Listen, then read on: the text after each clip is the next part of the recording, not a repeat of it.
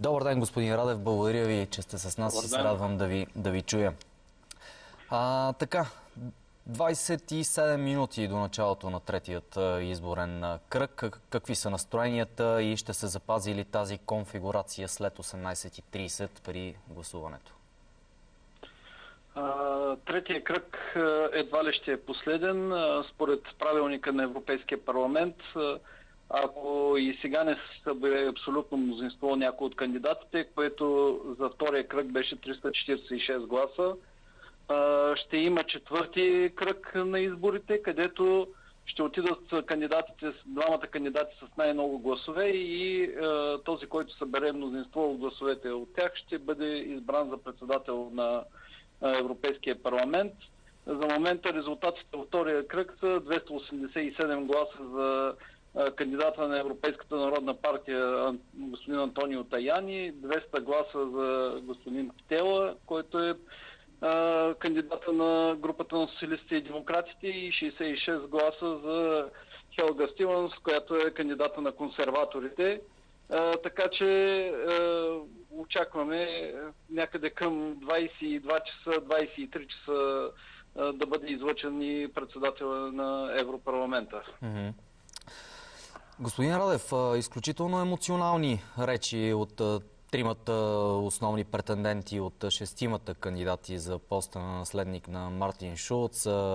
Господин Таяни в своята реч, обращение към своите колеги от Европарламента, говореше на три езика. Джани Питела беше изключително темпераментен като един истински италианец в края на своето експозе.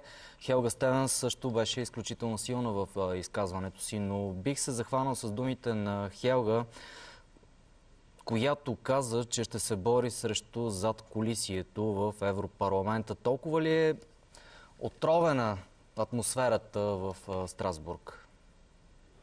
Напротив, не бих казал и ако говорим за задколисие, виждаме, че всичко, което политическите групи договарят помежду си, обикновено, за разлика от други парламенти, е писмено. За съжаление, днес видяхме, че се наруши едно споразумение, подписано между НП, социалистите и демократите и АОДЕ още в началото на този мандат, а, именно, че през първата половина на мандата председател ще бъде излъчен на парламента от социалистите и това беше господин Мартин Шулц. А, втората половина социалистите ще подкрепят а, за председател кандидат на НП. Мгм. Социалистите а, на практика денонсираха това споразумение, издигнаха свой кандидат и по-важното, което днеска се случи, че имаме ново споразумение между Европейската народна партия и е, АОДЕ, което е, на практика е едно проевропейско е, споразумение. Както споделиха и лидерите, това е първа и важна стъпка към създаване на проевропейска коалиция, която да реформира и подсили Европейския съюз, което е необ- необходимо в момента и целите на това споразумение включват нова европейска политика за гранична и брегова охрана, ново управление на еврозоната, за да се извади Съюза от криза, създаване на европейски отбранителни сили, за да се направи отново Европа безопасна, както и да се проучат всички възможности, необходими за създаване на европейски разузнавателен капацитет, който да се бори с тероризма и международните престъпления. Така че видяхме, че покрай изборите на Евро... за председател на Европейския парламент се създаде нова проевропейска коалиция, която ще направи всичко възможно да намали влиянието на крайно левите, крайно десните и популистите, които в момента не работят за интеграцията в Европейския съюз и за един по-силен Европейски съюз. Господин Радев, това ли, тази нова коалиция ли доведе до оттеглянето на Гивер Хофстат от а, АОДЕ в последният момент? Кандидатурата. Да, на практика подписването на това споразумение доведе и до излизането от напреварата на господин Ферховщад като кандидат от страна на АОДЕ и подкрепата на АОДЕ за господин Антонио Таяни. А защо социал-демократите се отметнаха от това споразумение, което трябваше да доведе до подкрепа на представител на ЕНП и решиха да се включат в надпреварата за наследник на Мартин Шулц, който също е социал-демократ. Явно поста председател на Европарламента е достатъчно привлекателен за социалистите към този момент и те решиха... Ами това им беше единственият ключов пост, който имаха в крайна сметка, защото НП, ако вземе сега Европарламентът, получава трите ключови а, институции като представители, които да ги ръководят. Това беше ясно и при подписването на споразумението. Пак казах, ЕНП подкрепи Мартин Шулц в началото на мандата само поради причина на подписване на това споразумение но виждаме, че когато на социалистите ни им е сгодно, те не държат а, на думата си, даже изкрепена с писмен акт. А, така че аз не мисля, че този ход а, на социалистите ще бъде успешен а, в момента. И смятам, че следващия председател на Европарламента ще се казва Антонио Таяни, който, между прочим, е един много добър приятел на България.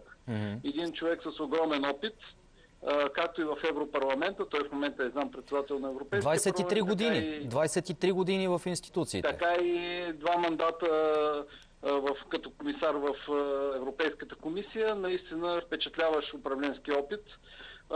И той беше излъчен от страна на НП след една напрегната битка отворена и той спечели, разбира се, най-много гласове в Европейската народна партия и беше официално издигнат за кандидат на Европейската народна партия.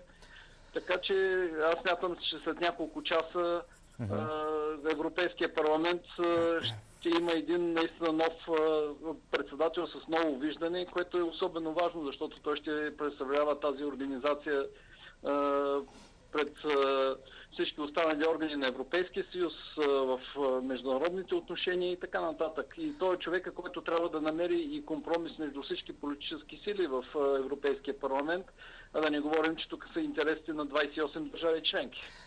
Точно така, за сега 28. Ще преминем и към темата за да стана 27. Говоря за речета на Тереза Мей, първата по същество за това какво предстои от гледна точка на преговорният екип на Тереза Мей. Но искам да ви попитам нещо друго. След като НП се здоби с партньори от страна на АОДЕ, някакви други конфигурации наблюдават ли се така, че да няма изненада?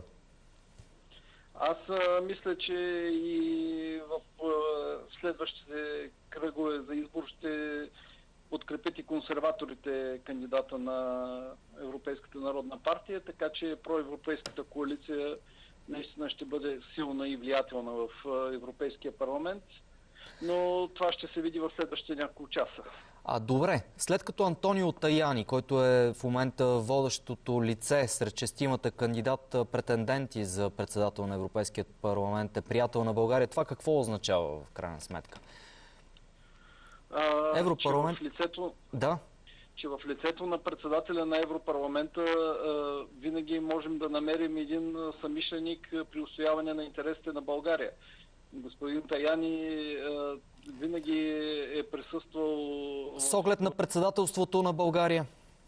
Разбира се, разбира се. Важни са тези отношения. България ще има много важна роля в 2018 година, така че всички от тези контакти, които ние може да ползваме с основните европейски институции, биха били в полза за прокарване на целите, които българското председателство ще си постави. А относно предоговарянето на бюджета и бюджетната рамка на Съюза, там може ли да настояваме за... О, ние винаги настояваме за... Все да имаме силно лоби, така да се каже, в лицето на господин Таяни. Разбира се, ще се използват всички механизми наистина интересите на България да бъдат защитени, не само при бюджета. Предстоят и много други важни актове да се приемат и свързани и с миграцията, и с тероризма, с прането на пари, с, економиката, младежката безработица. Uh-huh. Именно България трябва винаги да търси своите приятели, своето лоби, така че нашите интереси да бъдат надлежно защитени и това е работа на всич, всяка една политическа сила българска, представена в Европарламента и аз мисля, че успяваме да намерим нужния компромис, винаги да бъдем, когато можем единни и така да защитаваме българския интерес. Господин Радев, предполагам, че следихте последните новини около речта на Тереза Мей по-рано днес. Започна в 11.35 лондонско време. Но мислите ли, че Великобритания има шанс да стане специалният съюзник на Европейският съюз? Определено ще има твърд Брекзит. Повече от ясно вече няма спор за това нещо. да, това поне стана ясно. Поне стана ясно пътя, който е избрала Великобритания за излизане от Европейския съюз, защото до днес на практика нямаше сигнали какво точно смята да предприеме Великобритания във връзка с взетото преди повече от половин година решение за напускане на Европейския съюз.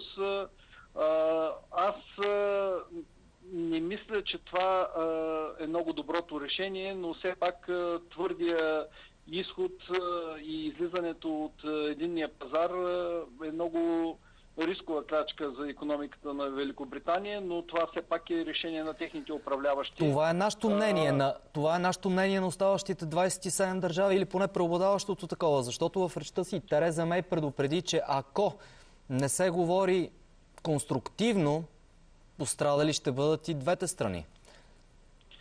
А, така е, много големия пострадал още е Великобритания. Още повече, а, че тя трябва да а, преосмисли цялото си законодателство. Говорим, че освен от единия пазар, тук трябва да говорим и за митническите споразумения, което бъдеще ще сключи mm-hmm. Великобритания.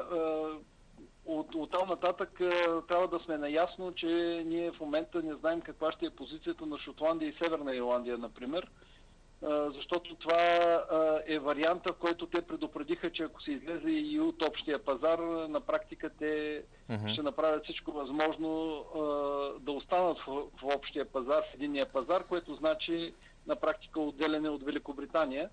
Но това ще видим Добре. каква ще е реакцията в следващите дни. Добре, но трябва ли, да имаме екип, е... трябва ли да имаме екип в тези преговори? Трябва ли да сложим на масата исканията на България?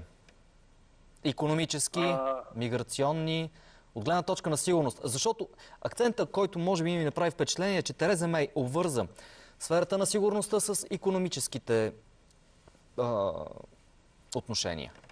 Зона за свободна търговия. Аз, аз мисля, че е, интереса на България съвпада напълно тук с интереса на останалите държави членки на Европейския съюз, що се касае и до всички европейски ценности, като свободата на движение, например. Успокояващото е, че днес Тереза Мей заяви, че правата на гражданите на Европейския съюз, живещи в Великобритания, трябва да бъдат гарантирани, което за всички уния наши сънародници, които са в момента в Великобритания, живеят, работят, трябва да така да докара малко спокойствие, защото това е също и несигурно за всички уния българи, които са там а най-вече и за гражданите от източна Европа. Така че е, те първа ще се развият преговорите. Това е много дълъг процес. Ще бъде сигурно пак ние очакваме акта, с който Великобритания ще постави началото на тези преговори, а именно с официалното уведомление до Европейския съюз за излизането на Великобритания. Такова все още няма. И днес не стана ясно кога ще бъде този начален момент. Така че Това е въпросът. Ще бъде ли преди... На България ще бъдат защитени. Да се надяваме, ще бъде ли въпросът това, че преди март, края на март, какъвто беше крайният срок от... Това на практика зависи изцяло, изцяло си от... на Точно така. Е, Европейския съюз тук няма на практика полезна крачка, защото всичко зависи от началото на този процес, от това кога управляващите в Великобритания ще подадат mm. искането си за излизане. Най- най-странно е обаче поведението на пазарите. Паунда 2,7% се изстреля след уверението на Тереза Мей. Да, но пък в понеделник на практика падна с доста надолу и стигна пак рекордни mm-hmm стойности. Така че виждаме, че всяко, всяка една несигурност води до несигурност и на финансовите пазари и това най-накрая трябва да, да, да престане, защото това не е добре както и за Европейския съюз, така и за Великобритания, а най- най-вече това е проблем за бизнеса. Въпросът е европейските... Е. Въпросът е екипът на европейските преговарящи дали ще бъдат реваншисти при постигане на сделка с Великобритания. Определено Тереза Мей подаде ръка. Тереза Мей подаде ръка.